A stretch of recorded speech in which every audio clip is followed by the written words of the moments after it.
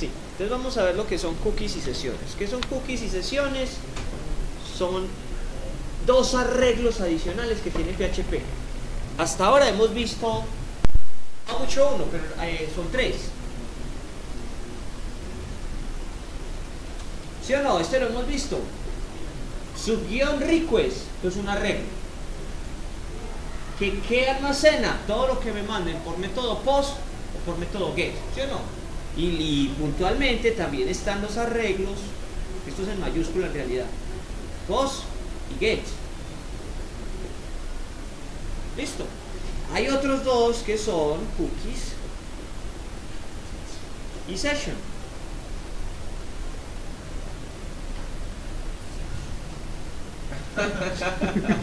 ya. Section, section. Listo. ¿Para qué se usan? Algo muy parecido a estos otros. Recibir información que le estén enviando desde otra parte. Las diferencias. Estas, digámoslo así, son volátiles. Rico, get. Van de una página a otra y se acabó. En cambio el cookie y el session son más globales. Listo. Ahorita vamos a mirar estas páginas de W3 School después de que veamos la teoría y van a entenderlo rápidamente. Entonces, eh, técnicamente hablando, una cookie, galleta, literalmente, o galleta informática, es un archivito chiquito, chiquito que se almacena en el equipo del cliente. Accede a él el navegador. ¿sí? ¿Quién la envía? El sitio web. Se almacena en el navegador del usuario y eso le va a permitir al sitio web, al sitio remoto, consultar, entre otras cosas, la actividad previa del usuario. ¿Listo? Son un mecanismo por el que se almacenan datos en el navegador remoto para monitorizar o identificar a los usuarios que vuelvan al sitio web. Que vuelven, esa es la finalidad. Ya me visitaron una vez, pues no tengo que volverle a preguntar al usuario cuál es su nombre o cuál es su ciudad de origen o cuál es su preferencia en el idioma, que es el ejemplo que está planteado. No. O sea, almacena eso en un archivito y el navegador que hace va y consulta ese archivo y verifica qué hay ahí. Listo. Exacto, las tiendas virtuales almacenan eso, por ejemplo. El ejemplo que mencioné ahorita fue el de eh, una página de, cines. Entonces, si yo vengo acá, voy a la página de Royal Films, por ejemplo, están en promoción, pero lo importante es, no me volvió a aparecer. ¿Por qué no me volvió a aparecer? Por las cookies. Pero si yo abro una nueva sesión por aquí, abrí una sesión de incógnito, abro la página, para él es la primera vez que entra. Como es la primera vez, entonces me va a preguntar cuál es su ciudad. Ah, listo, yo estoy aquí, Medellín. Y aquí en adelante, cuando abra la página, incluso si la abro en una pestaña nueva, no me pregunta por mi ciudad. Porque él ya sabe dónde estoy parado. ya le dije, yo estoy en de Medellín. Y ese dato va a estar viajando entre una página y otra. No importa que yo cambie la dirección él ya sabe cuál es mi, ciudad. Hay páginas que le preguntan, bienvenido al, sistema, ¿cuál es su nombre? Pues todas las páginas ya saben quién soy. O me dicen, seleccione el idioma, seleccione el color, seleccione tal cosa. Y eso va a estar viajando entre páginas y el sistema, el servidor puede acceder a eso y preguntar, venga, ¿cuál es el nombre del usuario? ¿O cuál es la preferencia del usuario? Tal, ah, listo. Yo la conservo y adapto mis páginas a eso. Listo, de eso se tratan mis cookies entonces. Claro. Monitorizar, o sea, monitorear qué ha pasado ahí. Conocer las preferencias, conocer el, histórico, algunas cositas se pueden averiguar ahí. Se pueden armar estadísticas con eso. Listo. Aunque hay debates grandes con, con lo que es la privacidad, sí, es que el usuario decide. Las páginas hacen la advertencia, este sitio maneja cookies, actívelas. Usted no está de acuerdo con eso, no entra al sitio, fin. Pero eso debe estar por aquí en, la, en la configuración del sistema, en alguna parte. Habilitar cookies, no recuerdo, por ahí en alguna parte está. ¿Cuál es la duda?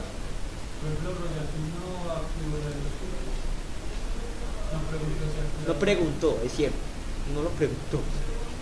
Hay otras que sí lo Hay preguntan. otras que preguntan que dicen que, que la página contiene cookies. Eso. Sea, que, pues que cookies propios. Pero es que en realidad los cookies en ese sentido no va a tirar, eso no es privacidad del cliente, no tiene Sí, preguntarle sí. cuando agrega el idioma, pues, Sí, hay cosas que son sensibles, hay otras que no, son muy genéricas, entonces no, no, no, no es necesario preguntarle al cliente, ¿está de acuerdo? Esto se va a almacenar en cookies, actívelas, bueno, más o menos. De todas formas, aquí hay una opción, no encuentro cómo deshabilitarlas en Chrome, porque casi no uso Chrome, pero por ahí en alguna parte debe estar, que se permita el, el uso de cookies. Mucha, por ejemplo, los, los navegadores La- al revés, la mayoría de veces está, por defecto está habilitada. Pero se puede configurar. Puede configurar. Uno puede configurar que permita el uso de cookies y uno también puede borrar datos de navegación. Datos de navegación, usted dónde estuvo, con quién estuvo, cómo estuvo. No es invasión de privacidad, es monitoreo. No eso es dominio público. Listo, esos son las cookies que permiten almacenar datos de- del usuario. Listo, sin, sin, sin ser ser- sin ir por allá a pensar que me están tomando los datos de la tarjeta de crédito. No, no, no. Datos generales, listo. Si hay un debate grande, pero son datos muy, muy generales. Listo, entonces por aquí en el manual de PHP ellos me van a decir cómo se maneja eso para poder crear una cookie que no es más que una variable global. Usted meta ahí lo que quiera. Tiene una función que se llama setCookie. Aquí nos dicen, es que tal cual, lo copié de allá. Son mecanismos por el que se almacenan datos en el navegador remoto para monitorizar carreta, carreta, carreta, carreta, carreta, carreta. Y aquí están los códigos. Set cookie. Entonces vamos a crear una nueva variable que se puede acceder desde cualquier sitio en mi, en mi página. Usted le da el nombre, una variable, le da el valor y hay otros parámetros que son cuánto tiempo va a durar esa cookie. Puede durar todo lo que usted quiera. Sí, si pasa este tiempo se borra. Por defecto, no sé cuánto dura. Pero mire una cosa. Set cookie. Set cookie tiene el nombre y retorna un booleano. Si está definida o no está definido. Listo. Eh, tiene nombre, tiene valor, tiene fecha de expiración, que parece que por defecto es cero. Sí, por defecto es cero. Si no lo pones, no dura. Cuando se cierre la pestaña, se pierde. Eh, la ruta, o sea, en qué direcciones va a ser válida esa cookie, en qué dominio y unas políticas de seguridad. Veámoslos por acá están. No, name, nombre de la cookie. Valor, lo que usted quiera. ¿Cuándo expira? Veamos. Es una fecha units, por tanto está en número de segundos a partir de la presente época. Pa, utiliza la función time, aunque no me dice el valor por defecto. Aunque aquí se lo están dando, es cero.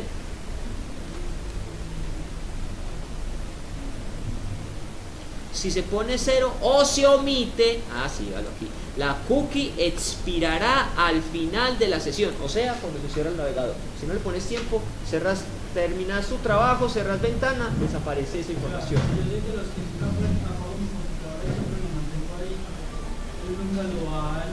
Depende del time, depende de ese time. Y mira el formato. Time es para decirle, bueno, vamos a trabajar con el formato Unix. ¿Cuánto tiempo? El valor numérico que le ponga. ¿Esto qué significa? 60 minutos, 60 segundos, 60 minutos, 24 horas, 30 días a la semana. Pero si le pones cero, se expiran 30 días. No, si le pones cero, expira si se cierra la ventana. Eso aquí, si le pones cero.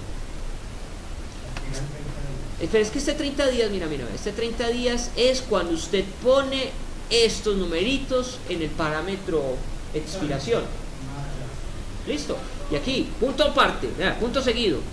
Si se opone cero o se omite, la cookie expirará al final de la sesión cuando se cierre. Listo. Ah, no, si usted nunca cierra, eso va a estar ahí disponible toda la vida, si no se va la luz. Listo. Pero los que uno maneja normalmente son los, los básicos, los que están aquí en el ejemplo previo y es nombre, valor y tiempo. Con eso es suficiente. Los otros son parámetros opcionales. Listo. Entonces, defínalo normalmente en la página de inicio, en el index. Pregúntele al usuario algo, cuál es su ciudad, cuál es su idioma, cuál es su color favorito, lo que sea. Almacénelo. Y de ahí en adelante, en otras páginas, miren cómo recurren a ella peso, subguión cookie y el nombre de la cookie que usted desea leer. Eso es un arreglo. Pregunte por la posición tal con el nombre y extraiga el valor. Listo. Puede actualizarla con la misma instrucción que la creó. Voy para allá, tranquilo. Puede actualizarla con la misma instrucción que la creó, cambie el valor y para borrarla, si quiere borrarla, usa el- el- la función un set. Y listo. Listo. Y otra forma es decirle que esa cookie expire en un tiempo negativo. Que expire en tiempo negativo significa ajá, que desaparezca, que no existe. Ah. Esa es la forma de borrarla. Listo. Como la cookie deshabilitada. ¿Cómo deshabilitarla? Una de dos, o usa el comando un set, desaparezca. O. Más o menos. más o menos. Libera el recurso, porque es que eso es un archivo que ocupa espacio. Al final.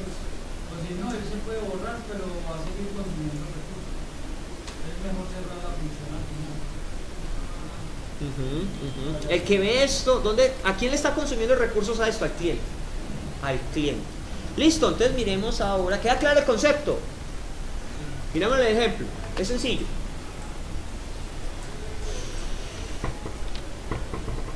Tengo una página. Yo voy a verificar en un principio si la variable está definida. ¿Recuerdan esta función iset? Si hay contenido en la variable. Si hay contenido en una cookie que yo definí idioma, si hay contenido, pues muéstreme ese idioma. Y si no, eso significa que aún no han ingresado al sitio.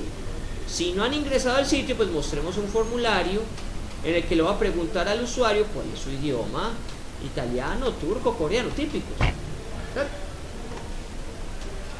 Y voy a enviar esa información. Recuerden que cuando uso un radio, el radio debe tener el mismo nombre en todas las opciones que va a ver el usuario. ¿Qué es lo que cambia? Ah, El tipo es el mismo, el nombre es el mismo. Lo que cambia es el valor. Esto sí es lo que lo hace único. Entonces yo voy a preguntar qué hay en el en el request language y dependiendo del valor asignaré algo. Listo. ¿A dónde va a ir a parar esa, toda esa información? Esa información va a ir a parar al archivo page 2. Entonces miremos que hay en page 2. Esto es page 2. ¿Qué hace page 2? Pues inmediatamente, ay, esto es importante. La cookie se debe definir antes del HTML. No se puede definir después. Si se define después hay error. Por la forma en que se comunican las páginas. ¿Listo? Sin ir en mucho detalle. Siempre, siempre, siempre, siempre defina su cookie antes del HTML. No lo vaya a poner por acá abajo. Que por acá abajo saca error. Listo. Siempre lo primero que hacemos es definir la cookie en una página. Listo. Entonces, ¿qué hago aquí? Voy a definir mi cookie, la voy a crear, le voy a dar el nombre idioma y cuál es el contenido, es el segundo parámetro. El contenido es lo que yo reciba del radio button que llamé language. ¿Recuerdan el de atrás? Yo recibo italiano, turco o chino. ¿Será chino? Sí. Coreano, ¿cuál chino? Coreano. Posibles valores para la variable language, que es la que estoy preguntando aquí. Italiano, turco, coreano. son los tres idiomas, las tres posibilidades que le da al usuario. Listo, segundo parámetro. Tercer parámetro. ¿Cuándo va a expirar esa cookie? ¿Y cómo leo esto? Bueno, entonces en el formato de la fecha, 60 segundos, 60 minutos, 24 horas, 365 días. O sea que esto expira en un año. En un año. Ah, o sea que solamente depende del valor que le pongan al inicio. de aquí, estos numeritos que le ponga acá. No, Aunque no, eso no. uno puede, No, uno no. puede decir, yo pongo el- el- el- la cifra numérica y inmediatamente da, sí, pero es que así uno se da cuenta exactamente cuántos segundos, cuántos minutos, cuántas horas, cuántos días.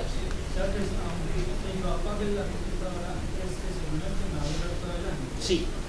Así apagues la computadora, ese archivo va a quedar guardado por allá en alguna parte que va a tener esa información. A menos que el usuario borre las cookies, pero si no las borra, eso estará disponible un año. Listo. Y el último parámetro es en dónde va a estar disponible esa cookie. Si pongo la raíz, pues va a estar disponible para todo el sitio. Aunque se puede omitir. No es obligatorio. Este parámetro se puede omitir. O sea, siguiendo el ejemplo de los idiomas, es decir, por ejemplo, yo en página la pongo en varios idiomas, valida. Validas esta cookie y dependiendo del idioma, mostrás el contenido en un idioma, mostrás el contenido en otro. La raíz es solamente para decir inicio de. Eso. O a menos de que con la raíz, por ejemplo, que sea la ra- inicio, eh, que sea videos, la, cookies, Sí, eso. El único que va a leer esas cookies va a ser tal página, videos en tu caso. Ejemplo. Ujú, ujú. Y si lo omito, va a ser para la. Todo el sitio. Todo el sitio puede leer esa cookie. Listo. eso me refería yo era. Si por ejemplo no coloco todos los trabajos de la del cálculo, 60, 60, 60, sino solamente el primero. Les va a durar 60 segundos. Un minuto. ¿Asume? ¿Qué valor? ¿60 días? ¿O 5 minutos? En orden, en orden, en orden. O sea, si, si pones... Exacto, o sea, si pongamos time más 60, Eh, 60 segundos. un minuto. ¿Quiere dos minutos? Ya. ¿Quiere tres minutos? Listo.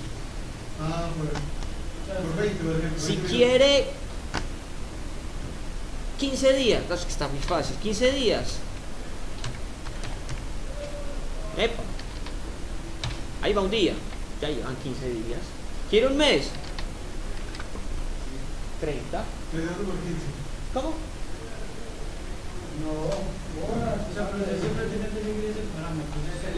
No es que tenga, uno lo pone así y es como una, una, una ayuda para uno entender. Día, segundo, ta, ta, ta, ta, ta, ta, ta. No, me refiero es que él sigue ese parámetro para poder entender que son 30 días. No, él no. Él hace la operación aritmética.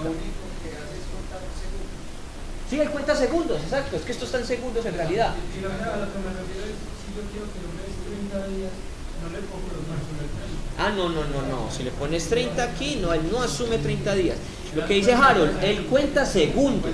Él cuenta segundos. Eso es. O sea, yo aquí, y si pongo 120, ¿qué significará eso?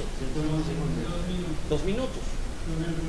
Dos minutos. O sea, humanamente hablando, yo podría poner, no sé, ahí no tengo ni idea qué es eso. ¿Eso qué es? 64 mil segundos. Me perdí. Pero en cambio, si pongo 60 por 60 por 12, ahí entiendo. Ah, eso son 12 horas. En cambio 64 mil, no sé, me toca hacer a mí la cuenta matemática. ¿A cuánto equivalen 64 mil segundos? Ni idea.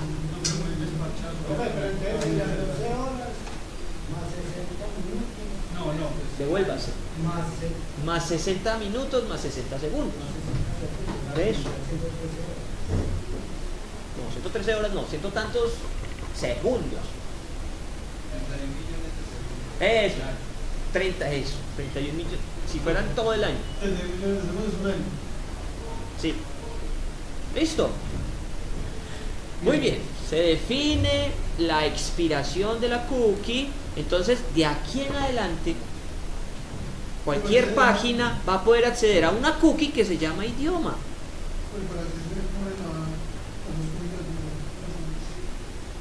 Ah, eso es porque es un string. Sí, pero es opcional. Listo. No es necesario. No es necesario. No es necesario. Aunque si lo omitís, por defecto la coge toda. Por eso, la idea es esa. Sí, sí, la idea es esa. Listo. Comercial.